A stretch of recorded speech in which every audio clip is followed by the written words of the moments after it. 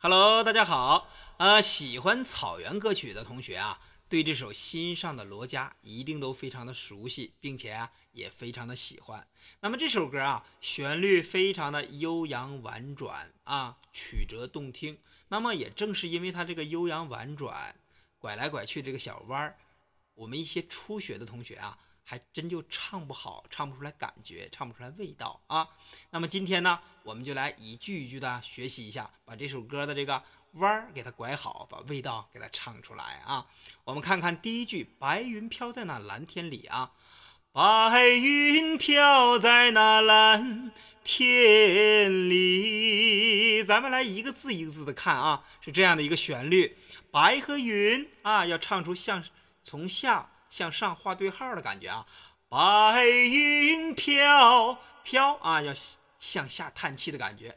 白云飘在那，在那离得特别近啊。我们这个在那下方画了一条横线啊，连的比较近。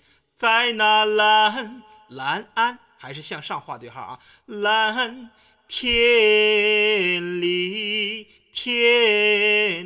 连续的向下啊，画弧线，向下的感觉，向下探的感觉。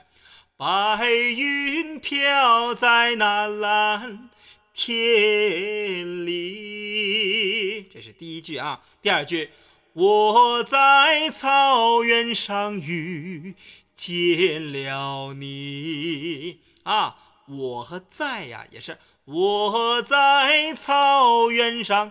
草啊，向下的感觉，原上离得比较近啊。我在草原上遇见了你，见哎啊，见了你。下一句，赛马会上的人海里啊，赛马还是向上画对号的感觉。赛马会上的上的连贯起来啊。啊，会向下啊，向下叹气的感觉。赛马会上的人海里，注意这个海里啊，分解咬字。然后最后一句，你的美丽比谁啊？你的美丽四个字连离得比较近啊，大大大大的感觉。你的美丽比谁？谁后面啊？谁后面有一个？休止符啊，空出来。你的美丽比谁都美丽啊，都美丽。你的美丽比谁都美丽。哎，就是这样来唱，咱们连贯起来就是啊。